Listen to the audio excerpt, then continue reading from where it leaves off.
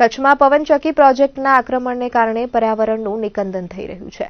ત્યારે રવા પરથી માતાના મઢ વચ્ચે મીઠી જાળીઓના વડાતા સોથથી દ્રવી ઉઠેલા અબડાસાના ધારાસભ્ય પ્રદ્યુમનસિંહ જાડેજાએ લોકોને જાગૃત થઈને અવાજ ઉપાડવા માટે આહવાન કર્યું હતું.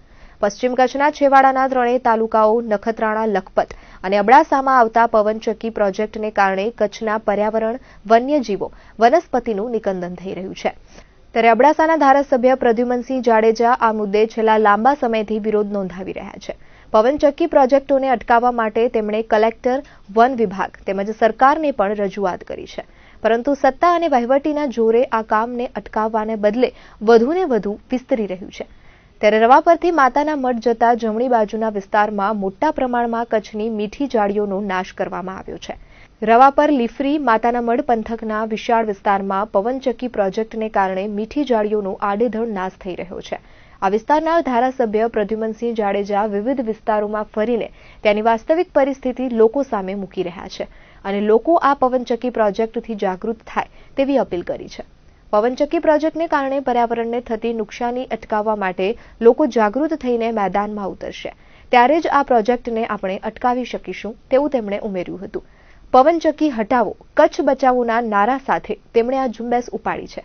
પ્રદ્યુમનસિંહ જાડેજાએ વધુમાં ઉમેર્યું હતું કે હાલ પવનચક્કી પ્રોજેક્ટ થકી પર્યાવરણને નુકસાન થાય છે અને ભવિષ્યમાં વીજળી સપ્લાય કરવા જે વીજ પોલ અને વાયરો નખાશે, તેનાથી મનુષ્યથી લઈને જીવજંતુ, પ્રાણીઓ અને પક્ષીઓને પણ નુકસાન થવાની ભીતિ છે.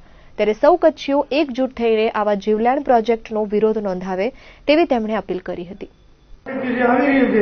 કે માતાનમઢથી આપ માતાનમાં નવા પરથી માતાનમાં આપ જતા છો, તો જમણી સાઈડમાં નજર કરજો ડુંગરમાં, ખાલી રસ્તો દેખાય છે, પણ એના પાછળ, અંદરના ભાગમાં ડુંગરોમાં એટલી બધી જગ્યાઓ ખોદી નાખી છે, ઝાડ બધા, આપણા દેશી ઝાડી તમામ જેનું નામ નહીં એટલી બધી જાળી.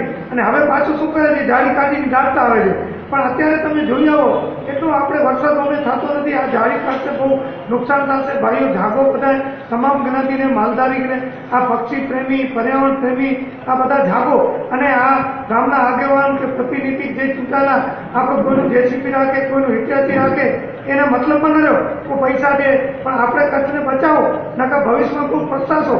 બે હજાર પવનચક્કી આવવાની છે, ક્યાં જગ્યા? અને નકરા માયા થઈ જશે.